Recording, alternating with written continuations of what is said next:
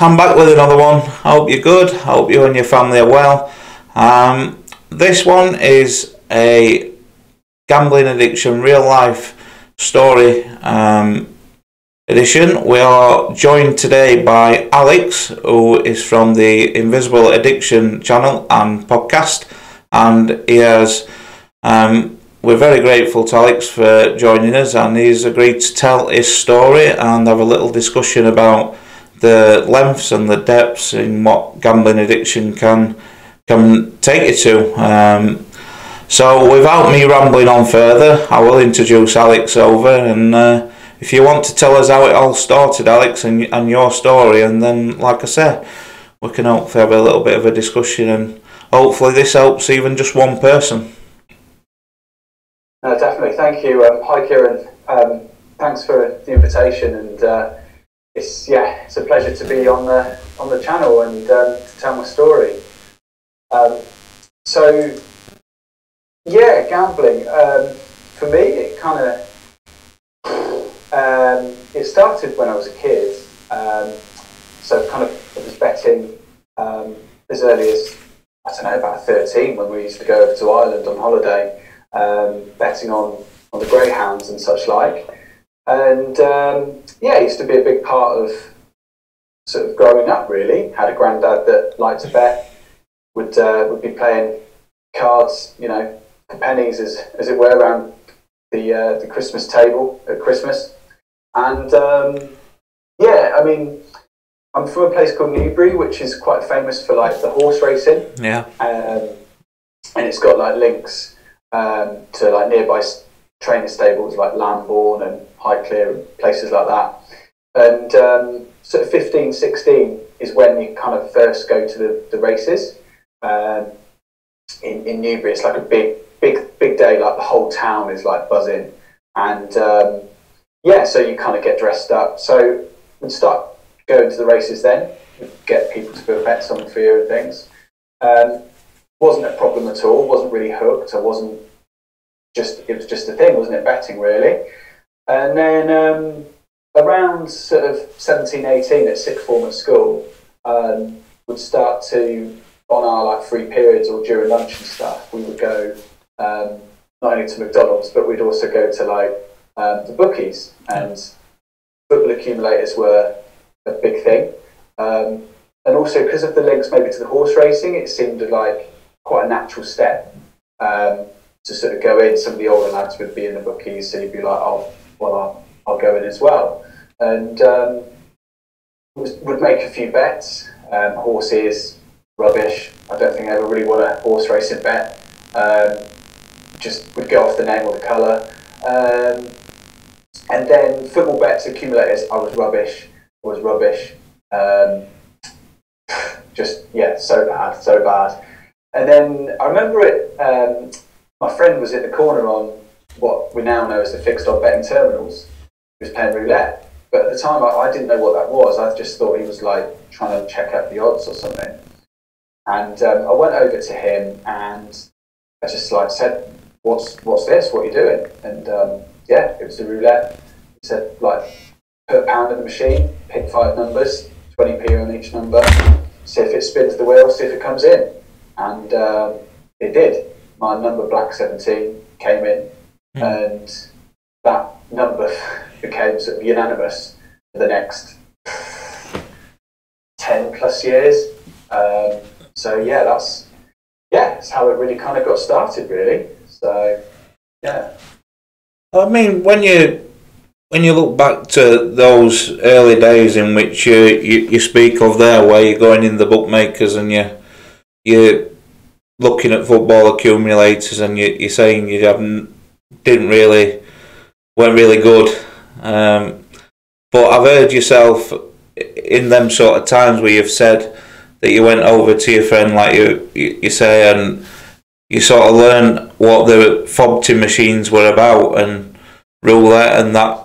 I've heard you say before you, you you've put a pound on and you won seven pound twenty back, and. I think in the wider scale, the bigger picture, even even if it is only a small win in terms of seven pound, it's enough sometimes to for his mindset to think this is easy. This is, you know, it doesn't always have to be a massive, massive win to start the the beginning of the downfall, if you like. And it's interesting as well when you say um, you're from sort of a town with a race course and um, and as you said when you were going into sixth form and you go into the bookmakers and your friends were gambling um, I've touched on it in my story as well in that environment and there's a race course near here where I was brought up as well and um, in that what environment course is that? Doncaster Sorry. Doncaster, Yeah. right, yeah. And in that environment, I think what also is quite dangerous if it's not looked at and looked at and looked at properly by parents is that gambling can become normalised. And it sounds like in your situation, in that environment, although it's not their intentions to, to potentially uh, send you in a, in a the way it turned out, um, norm gambling being normalised as an everyday normal thing in the wrong hands it can it can lead and help an addiction take place and, and take hold should I say um, and I think with your story it certainly sounds like that that it was normalised and maybe in that respect you know you, you didn't think this is dangerous this is really um, Yeah, yeah. this could end up bad. And I think the more people are spreading the awareness of what gambling addiction can do, maybe can help people to get that balance in between. Yes, it's normalised, but also here's this. Here, this is what it can do. Um, and I think you doing your channel as you are, which is some fantastic content on there. I messaged you the other day, you know, saying, um, hearing what you put out, and it, it's only a good thing. Um, but I just wanted to know your thoughts on that um, in terms of children and, and younger adults like yourself at that stage. Do you think having that environment where gambling is normal does play a part um, further down the line, perhaps, or at least to get you started? Yeah, I think it's a really good question, and um, I think I think you're quite right. I think uh, the situation that I was in, um, it was just quite natural. It was quite a natural thing. Um, like I say, I don't know if it was just because of the horse racing background and things that, like I said, the normalisation of it. Um, I don't know if it's to do with peer pressure. I don't know whether it's to do with um, a rite of passage, feeling like a man, Yeah, because you go and it's um, pretty much for, just full of blokes, young and old, yeah, um, like a bit of a hubbub of community, uh, of a community.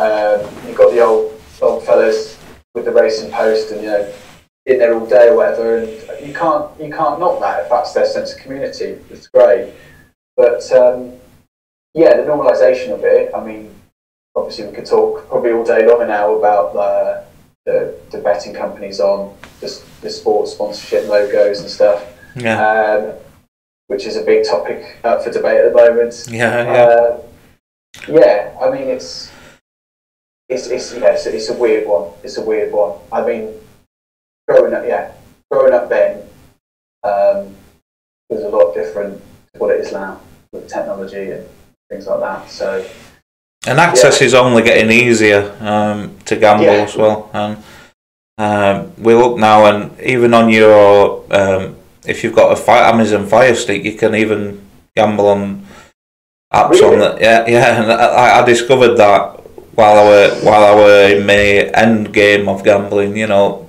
internet app on there, and you can sit on a massive telly watching you. But there's oh the, you know that's a mirror in your phone to big TV, so you can literally gamble from yourself uh, like you're watching television, but losing lots of money.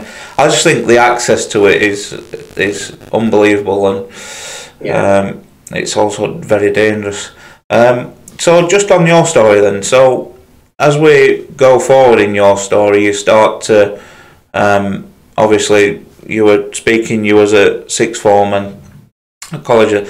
You you start to earn money from drum lessons and um, the hot shots. Foot, is it football league that you set up? Set up. Um, yeah, that was right. That came that came a little bit later, but at this point, I was still. Um, I, have been doing some refereeing for, for, for, soccer sixes for what they're for what they're worth. Not that I'm bitter or anything, but yeah. But with the money coming in, be it from drum lessons or from you, you were starting to earn a little bit of money and um, you, you you sort of started feeling as though going to casinos um, was a I, it, the way to me it was anyway, and I don't know if you'll feel this way. It it was almost um, like someone getting in a bath and having a glass of wine. It, it's your time, if you like, your your time to whatever unwind or to to just indulge in that environment and and enjoy it until it starts to go wrong. Um, yeah. And. You, is that how you felt at that time when you started to visit casinos and? and obviously eventually started to um, lie about going to the casino to, to your friends and um, at that point I think the question I'm asking is was it the sort of safe place your your time where you felt yes this is about me and no one else and no one else in a, in the nicest way possible no one else matters at this very moment mm. and it yeah, yeah I, I know what you're saying. Definitely, I think um, it very kind of. Uh, so, so I was at I was at sixth form, eighteen, and then I went to university, and I didn't. I gambled, but not not not really. I was up in Leeds, um, not too far from from yourself, I guess. Uh, Sheffield, Doncaster way, but um, yeah, I wasn't really gambling, and then I got a job in London, and I was about 21, 22, and I decided I was going to the bookies at lunchtime. I had like a quite a well-paying graduate job salary, um, more money than I'd ever had before.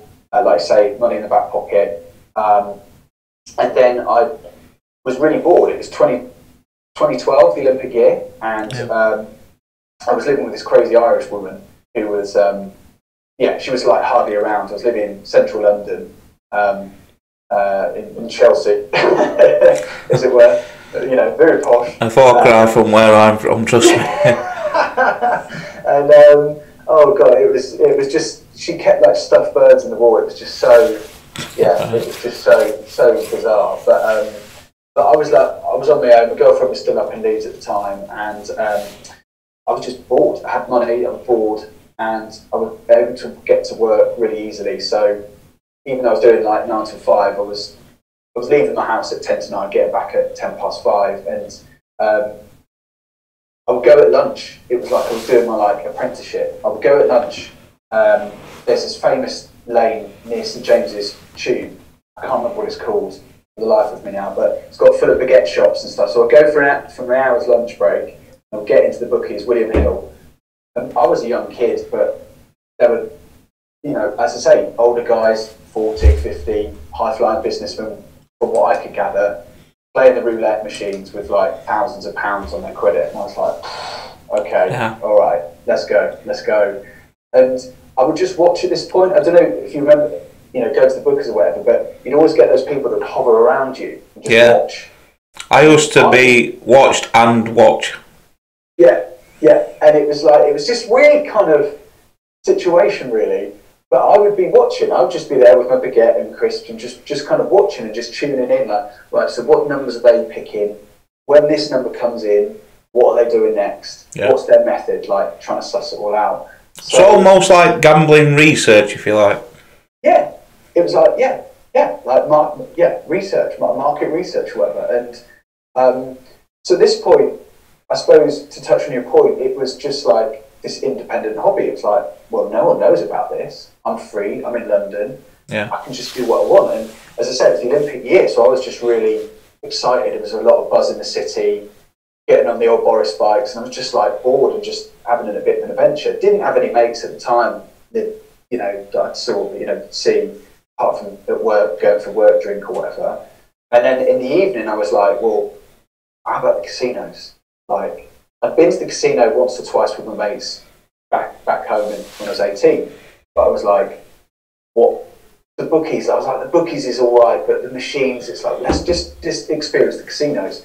So Leicester Square, that's when I went in, and um, they were showing the football on the big screen. It was 2012. I think it was Ukraine Euros. I can't. Ukraine was it Ukraine with?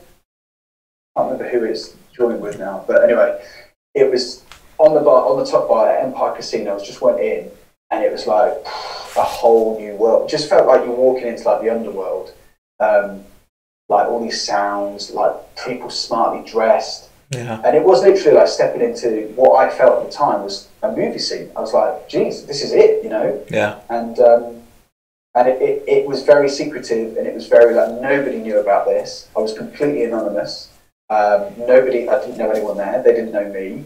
There was a lot of tourists. It was just really transient. So it was really weird because you, you're there, you're alone, but you feel like you're around and being social with people. So um, yeah, I mean, yeah, that's that's when it started to kind of take wind, as it were. And I Yeah. really like casino based. So the the three things really that stand out to me in what you've just said is that um, probably already touched on it, but you had time, money, and opportunity, and the three together.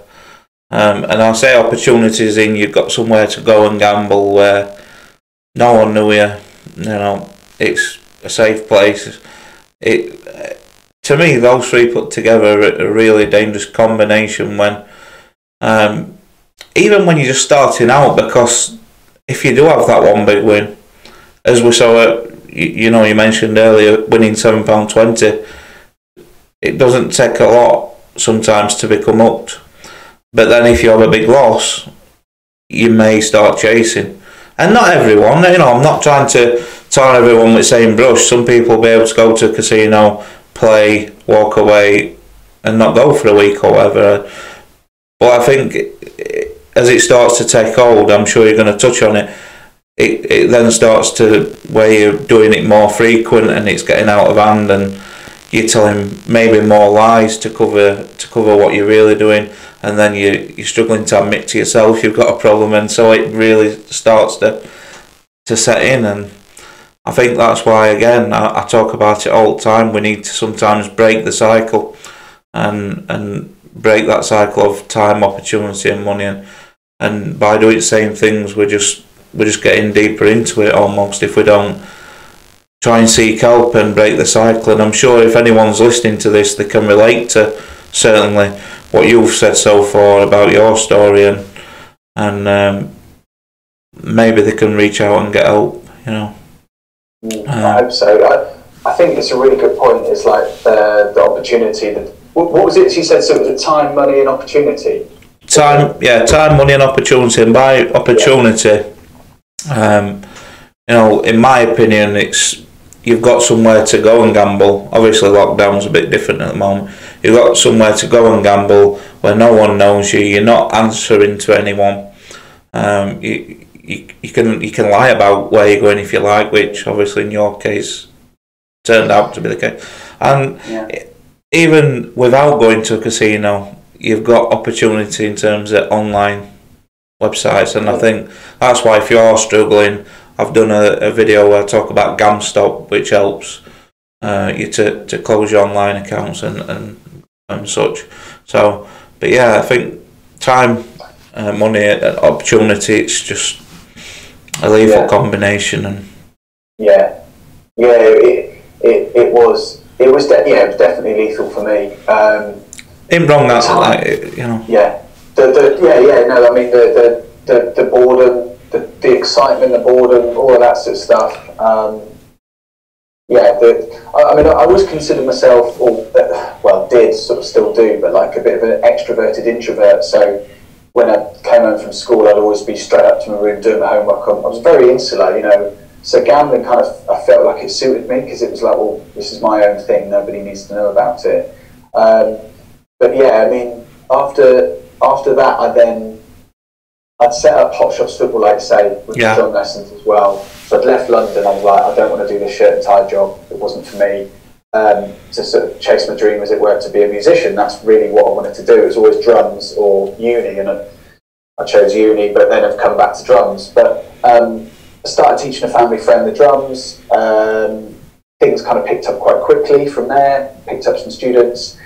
So I was self-employed. I, I ran this Hot Shots six-a-side football league. I was working like 15 hours a week, maybe 22, 23.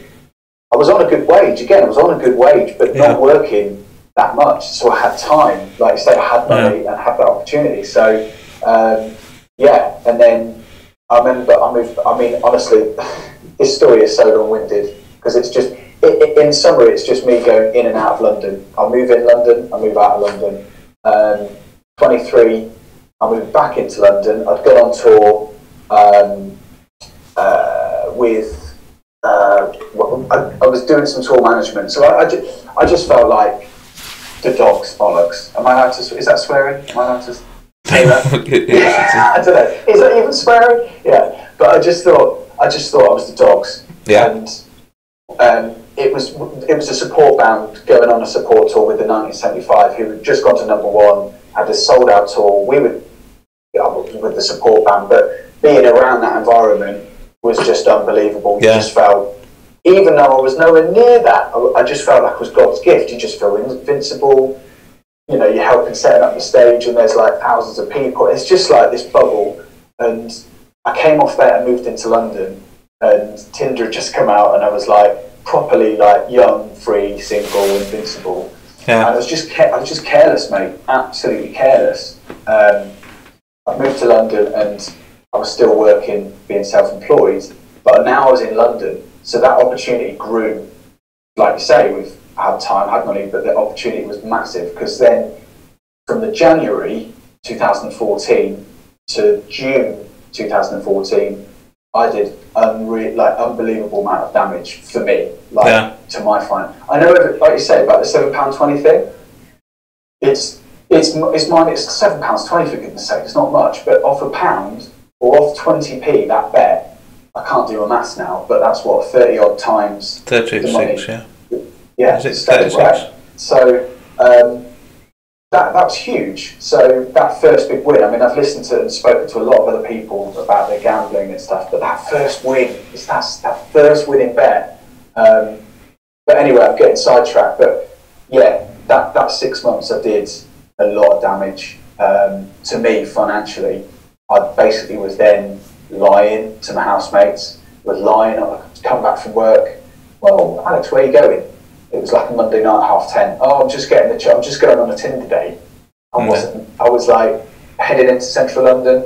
I spent not every night at the casino, but a lot of times at the casino. Spent all night there. Spending several hundred pounds in one go. Money just lost its value. Um, I remember just winning, having some big win, well, big wins for me. Getting paid in like fifty pound notes, Yeah. flash in a blue bag, just like. And then that wore off. I was like, well, whatever. And I was just trying to make ends meet with the bank.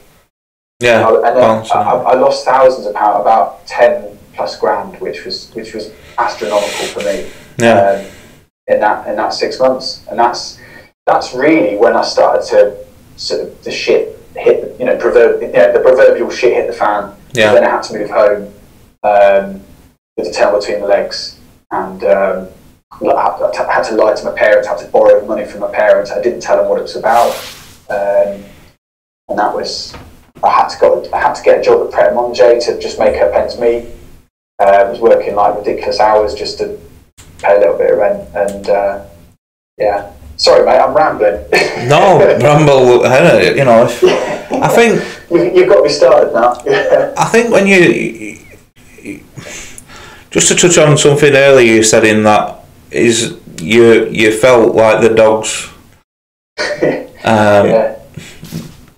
Yeah. billows um, and the thing is I wanted to know from your experience again not really generalizing but in your experience you know how you felt that way and you were confident and, and sort of I'm the man do you think that also plays a part psychologically where you feel as though when you are gambling, you you even if you lose, you're gonna win. You're gonna win big. Everything's gonna be okay. Do you think it sort of gives you a false sense of confidence in that respect, and And to people out there, if if they maybe have that similar mindset and, and can quickly come unstuck, do you think it plays a part, or do you think that's maybe wide of the mark? I just interested to know your opinion. Re- I think that's a really good point. I think it does. I think it does play into it. Um, um, again, I don't know if I've, always, I've always been quite sporty, so um, I got released as a footballer at 16. Um, that was a massive chip on my shoulder. Um, I carried with me like I just felt really like self-righteous and oh, I could have been a footballer and all this sort of stuff. No. Rubbish. But that that competitiveness, like you say, all right, I've lost, but no worries, I'm going to win the next time. Uh, the, the, win is just around the corner. How many times did you think that? Right, you know, like it's gonna, it's gonna, you know, yeah. just study, look at those. The amount, you know, the amount of time I must have just spent looking at the roulette numbers on the, the casino. You know, right, 34, that's come out, that's come right. This is bound to come out, and you know, and you're just looking at it, and just it's just crazy. But yeah, you're right. That kind of that egotistical, like that, I'm going to win. I'm good, you know and even but then of course it then slowly wore off because it's like well even when I what you know even when you win well I'm not happy because it's not enough or yeah. well, I might get another win and then it just became this massive void of like nothingness. I think that that's important as well. You know when you said then that when you have a big win it wore off you wanted more. Um, just just as a quick example, like I used to be happy winning fifty pound, hundred pound. Um, in in the in the end days, I was sort of getting to balances, especially online where it's not physically. You can't go to the window and cash get the cash. Um, I'm I'm getting to balances of three and four thousand pound, and I'm thinking I'm thinking this just for talking sake three thousand. This could make a real difference. We could perhaps move we could pay bills, rent that we eventually got evicted from. Um, but then I thought if I can get to six, that's four or five months' rent and a car because yeah. we need a new car. And then I start thinking, and to a lesser scale, um, I remember being in bookmakers and um, I won. Uh, I, I, try not to go into figures too much, but I won sort of the maximum five hundred pound. And I remember thinking on my way home, I want a McDonald's. So I thought, uh, you know, I'm a big lad, I want my food, but I want bookies to pay for it. So rather than think I've won five hundred pound, that I could I could have a, a year's supply of McDonald's on the bookies. I win the extra ten pound because it's a tenner for a big lad like me. Oh God, yeah. and you know what's coming. You know what's coming at from winning five hundred pound and wanting five hundred and ten pound to, to pay for McDonald's on my own, I lost the five hundred pound in trying in trying to achieve that tenner, and it's just. It's it's it's Matt. It's Matt. It's really really weird you say that because I'm just sat here because I'm related so much to that. That's I would be at the casinos and it would be it was in China. It was near Chinatown, Soho, Piccadilly, Leicester Square. You know, it's all kind of almost like one moulding melting pot but yeah, the amount of times I would like win or lose, I would be like, even if I'd just done several hundred pounds, I'd lost a lot, I'd still go and have a Chinese takeaway and a pint of beer and a six quid or whatever it was. But it's just yeah, it's just really weird how you how you talk about well, you rationalise it, isn't it? Like you say. Yeah. Um, yeah. I know. I, I, talk about it smiling and laughing, but obviously there's a serious no, um, I know, I know, tone to it. I, yeah. I think in my case, sometimes um, I mentioned in a vlog over there, I still struggle with the guilt, and um, sometimes I have to laugh, otherwise I'll, I'll cry. But yeah. it is, yeah. I, like like you said, you know, when you hear other gamblers talk about their or addiction in general, but in our case, gambling addicts talk about their um, story, you find yourself relating a lot, and that's that's my hope certainly in these videos that people can relate and if they can they can maybe take take take from it one or two bits that we think yeah that he did that that might help me sort of thing. Um, and at very minimum as I always say my channel followers will be fed up of me saying it. They won't feel alone. Um, yeah. but yeah just on that on the help and, and taking bits and things um, is there anything that stands out to you that you would sort of recommend to people who are struggling with gambling, especially with this lockdown at the moment? Um, obviously, they've got time on the. Some people might have time on their hands, but the other side of it, the financial impact that maybe they've lost their business or their job, um, and they, they're thinking gambling's a way out. Is there any advice that you'd like to pass on that you think could really benefit someone? Yeah, it's a really good question. Um, and I mean, I've got lots of advice, but I just don't know. I'm sorry to put you on the spot.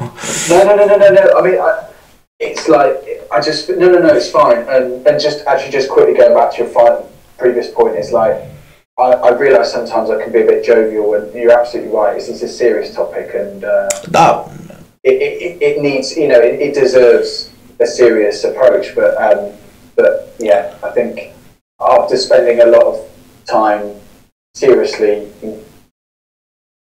it's like only now I start to see the chinks of light of like my old personality, which is this a bit jovial and stuff. But anyway, um, no, that's you know, yeah. just quickly on that. I think when you get to the stage where we we've been through the the the dark side and the rough side, it's it's not a bad thing if we can look back and it. No. You know, sometimes I wish that I could look back and not always carry the guilt. You know, go back to them places, but it is what it is with me. But so I don't think it's necessarily a bad thing. I just think that obviously we need we need to um, learn and, and spread the awareness, as I always say. But yeah. yeah, if you've got just any advice that you before we wrap up, what you think maybe would be beneficial to someone or yeah, no, definitely. Um, I suppose. Um, I suppose the thing is, it's like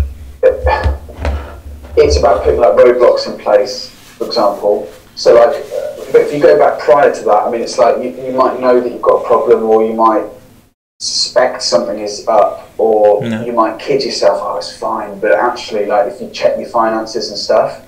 Um, so that would be one. I mean, there's lots of tools out there. So to put like roadblocks in. Um, so stopping gambling, um, you can there's a new scheme called TalkBanStop, which you can speak to the National Gambling Helpline. That's what I did for me to self exclude from casinos. That took me years. I don't want to just be like, oh, I had a gambling problem and then I rang them up. I, it took me uh, so long before I had it. I knew I had a problem to actually doing that. Um, but to, to self exclude, um, that includes, like you say, GamStop as well, uh, Gamban as well, which blocks um, software uh, on all your devices and stuff. That's a really good one. Um, it's then, so there's the kind of stopping the gambling side of things, but the other side of things, it's then the mental health aspect, yeah. which yeah. is the self care. So um, it, stopping gambling is one thing, but actually the the road of recovery, whatever you want to use, whatever term you want to use, is stopping. Stopping is one thing, but then it's a whole process of like I'm going to sound a bit hippy dippy, but finding yourself like what matters to you, and like you say, because you're going to have, you're going to carry, like you say, a lot of guilt and shame and embarrassment, and you're going to feel, um, yeah, in a really, really odd, odd, weird place. Um, but it's it's then you can't do this on your own. Like that's one thing I figured you cannot do it on your own. You need support around you. So um, another thing would be if it is about the finances. Like I've spoken to a few people, a lot of them um, have handed over control to like their misses or something yeah. of their yeah, of, yeah. Their, of their control yeah, of their finances. That's that's another big um, step that they they've done. Um, people have gone. People go to GA. People are a member of support groups. I'm a member of Now We Win, which is exercise based support group. You, you check in and accountability. Um, but then, like I say, a lot of self care, mental health stuff, which is. I think it, I couldn't sleep. Like, couldn't I just sleep went out completely out the window. I was up to the early hours gambling. So honestly, just things like it sounds really trivial because my mum to always say this, chew me ear off, like, oh, shut up, like, come on. But but like a good night's sleep um, waking up at the same sort of time, having a routine. Because you go from being ill disciplined as a gambler, I was completely, I had no discipline whatsoever, completely out of control, to then actually having like routine, uh, good diet, exercise, um, journaling as well really helped. I had a real big the other day. I was like felt really tired and I was up, it was late at night and there was a bit of a not a trigger, but it was like whoa, this is really where I was before. I'm just like Yeah. I feel crap. So I would just log on and I was like, no, no, no, I'll just do some journaling. So journaling really helps. I know it helps a lot of other people.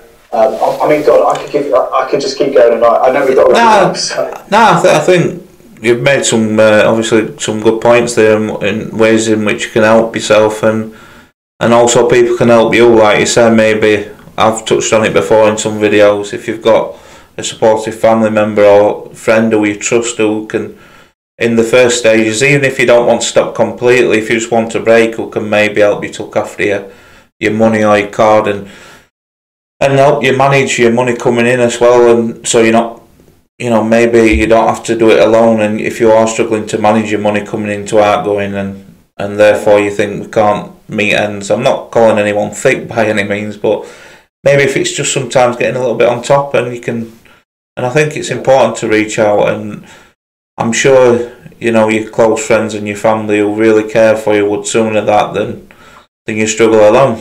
Um, yeah, as I always say. yeah. But um, just, ju- just on your story, then is there anything else you? I mean, my uh, I've got an idea in mind where I think, as I said, two channels together. You know, you've, you've, you've, I'm very grateful for you to coming on uh, and and speaking about your story. Um, I think it can only help spread the awareness and. You know, the more people that, that feel they can do it, the better.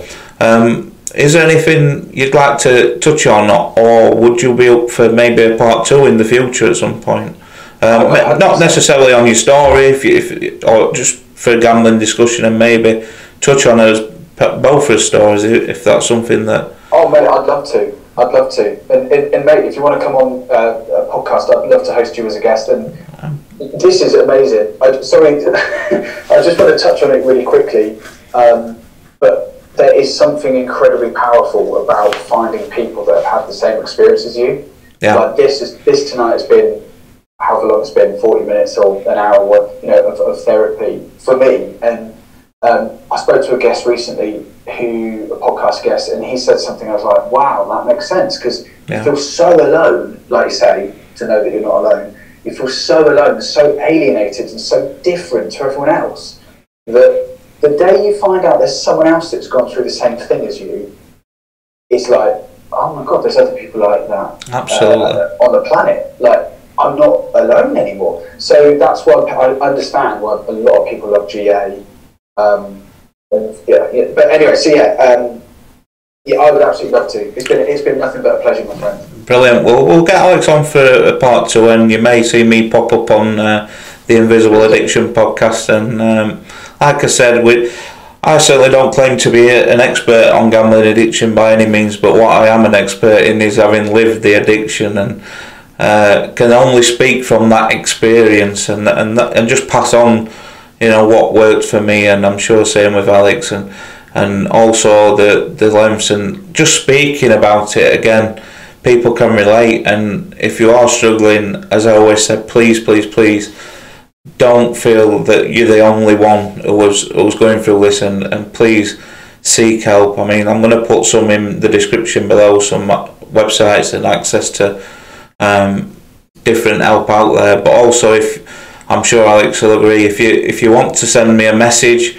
uh, on twitter my my email and uh, my twitter is in the description below and i will if Alex is okay with it, provide his in the description below.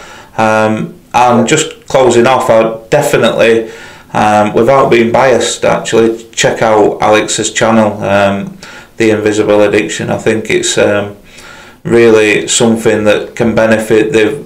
I, I know you do podcasts, you put them on YouTube, but also you, you put them on um, other outlets as well where you don't have to leave your YouTube window open. And I think that's something that, that also is helping people because they, they've got better access to it and more people, you know, tuning in. Surely you're going to reach some person who really needs it. And um, yeah, I recommend Alex's channel definitely. and Uh, we'll catch you hopefully in a couple of weeks on the next one. Um, but for now, is there anything else you'd like to touch on, Alex? Because I'm rambling a little bit there. I, I, do this sometimes, but I am rambling, and oh, people mate, join the club. Join the club. I'm, rambling.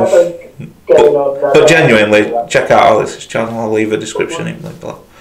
That, that's very kind of you to say. Um, I haven't got anything to add other than to say thank you so much for having me on. And My also, pleasure. if people do want to reach out to me, please do. Um, I don't know if I'll be able to say the right thing back to you, but I, I mean that in the nicest possible way. But if, if, if people want to have a phone call, I'll pick up the phone. Just want to send a message. I'll, I'll have a chat. Um, as I say, I'm not I'm not a trained counsellor or anything like that. Like you say, I can only give experience like yourself. So um, yeah, that's what I would like to say. And um, thank you, thank you so much. Great stuff. And as for my channel, um, Second Chance, we've got well, I said we as I was another person, it's just me.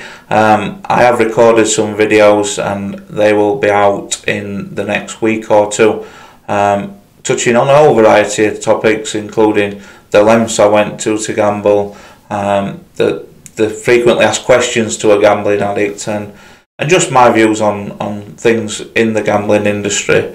Um, so check out those below. Um, and yeah, I will catch you on the next one, folks. Thank you, Alex.